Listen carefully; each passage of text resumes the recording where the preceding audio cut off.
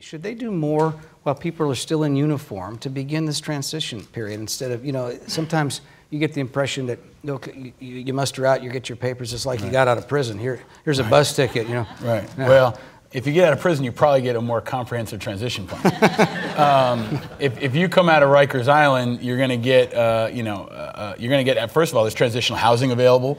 Uh, there are other programs available. You're going to get a parole officer. You're going to have someone who's looking out for you on the way out. And for many folks, you know, you're in Baghdad one week and in Brooklyn the next. So I think, I think the Department of Defense has done a lot more and they have really made tremendous progress in the last few years. Um, and you know, TAP has been reformed. The transition program has now been reformed, and that's starting to circulate through.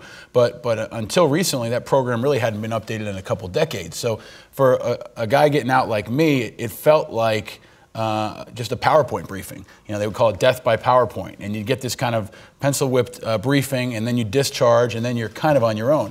But I think the nonprofit space has been stepping up. The private sector, DOD and VA have made a lot of headway in the last few years. The First Lady's office deserves credit for raising this to a national level of visibility, and I think that's that's really created a groundswell. You know, Kevin Schmiegel's here from the chamber and is going to be on the panel afterward.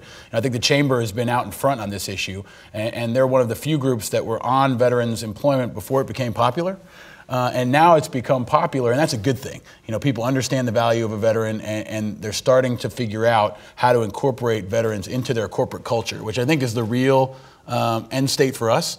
We want every company to have a veterans component right? To have a, a, a, to understand that value of a person who's disciplined and hardworking and focused and technically skilled and has good values and has shine shoes and a good haircut, right? You want those people uh, injected into your company, and you want people to hire veterans not because they're a charity, but because they're an investment. Right, and I think that's starting to happen now. Uh, and Department of Defense still got a long way to go. VA still got a long way to go, but I think in the last two years, especially, there's been a lot of progress. Well, but back to DoD. Let me yeah. let me push back a little yeah, bit on that. Please. Is there is there a mixed message that the Department of Defense is giving its its people, and for a reason, a good reason? They're worried about retention. If you if you've got people in uniform and they've rotated out of Afghanistan or Iraq or Korea or Germany, yeah. and they're back at Fort Bragg, um, and you say, okay, here's your here's how your mm -hmm. skills translate, and you have a whole service, a whole lot of service, you know. Um, education for them to understand yeah. how to translate, how to give interviews, do all these things that we think they ought to do maybe then they think, well, I don't need to be in the service anymore. And is, well, there, is, think, the, is the Department of Defense worried about losing people? maybe, they, maybe they, are, but I think that would be short-sighted. I think you know most folks don't stay in for 25 years. You know, especially nowadays, a lot of folks get in, and especially National Guardsmen and reservists, they may only want to do five or 10 years and then get out and go back to school or do something else. Um, but but I also think that um, you know there, there's been a recognition that they're going to get out at some point anyway. So you might as well set them up for the skills that are going to help them be successful. Um, and also you know, if they stay in, those skills are still going to suit them well. Right? If you train someone to be a good public speaker and to be, do good time management and to interview well, those are skills that are going to help people do well in the military. But also, let's be honest, the military is shrinking.